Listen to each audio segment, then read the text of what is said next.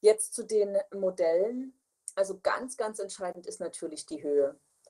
Also zumindest, dass es auf der Armutsrisikogrenze ist. Ja, wir wissen ja so aus der Glücksforschung, ab einer gewissen Höhe des Einkommens gibt es keinen Zusammenhang zwischen mehr Geld auf dem Konto und mehr Glück und mehr Zufriedenheit.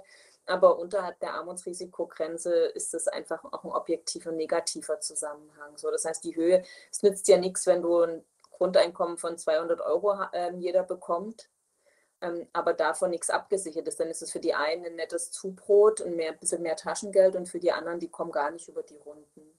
Das Zweite, was ich total wichtig finde, ist, dass nicht aus Versehen, weil wir alle so begeistert von dem Label Grundeinkommen sind, wir andere wichtige soziale Leistungen kürzen oder abschaffen. Also um es mal konkret zu verdeutlichen, für einen Menschen mit einer Behinderung, einer Beeinträchtigung, der auf regelmäßige tägliche Assistenz angewiesen ist, der kommt mit selbst des höchste Grundeinkommens, was gibt es da, 1500 Euro, kommt der nicht weit. Weil der muss ja täglich Assistenzdienste ähm, bezahlen.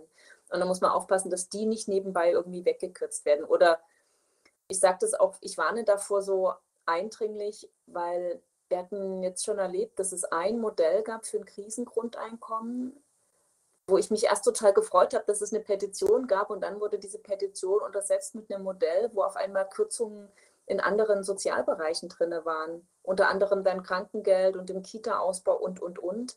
Und das geht natürlich nicht, ja, weil das sind ja Leistungen, die ähm, trotzdem weiterhin notwendig sind und da braucht es ähm, auch eine entsprechende Fachkenntnis und Sensibilität für soziale Leistungen, die auch wenn wir alle ein super tolles Grundeinkommen haben, weiterhin total unverzichtbar sind, weil man ansonsten ähm, andererseits Menschen womöglich in, in, in Nöte bringt.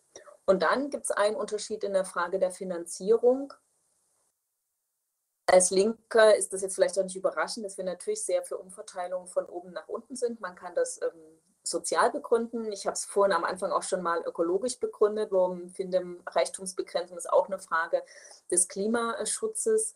Und ähm, deswegen finde ich das Modell zu sagen, du machst das eher über stärkere zu Kasse bitten des reichsten Drittels zugunsten der mittleren zwei Drittel besser ich würde mich jetzt nicht total auf ein Finanzierungsmodell festlegen. Also es gibt ja auch so Mischformen, dass man sagt, du hast eine Grundeinkommensabgabe nach Nettoeinkommen, man kann dazu dann noch besonders, also kannst dazu dann noch eine irgendwie eine Steuer anderer Art ähm, einführen über auf Transaktionen und so weiter. Da kann man ganz viel kombinieren. Da bin ich jetzt überhaupt nicht dogmatisch, was es anbelangt. Aber ich bin sehr entschieden dafür, erstens sicherzustellen, nicht als Kollateralschaden wichtige Sozialleistungen abzuschaffen und ähm, zweitens, ähm, es darf nicht dazu führen, dass am Ende automatisch die Reichen reicher sind und die Ärmeren ähm, gar nicht mehr haben als bisher.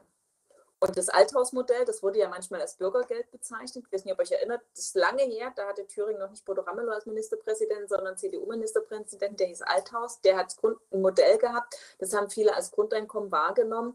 Da haben wir uns mal die Verteilungswirkung angeschaut und die hatten genau diesen Effekt. Die Reichen hatten irgendwie am Ende wundersamerweise mehr Geld in der Hand, die Ärmeren ähm, ähm, eher weniger.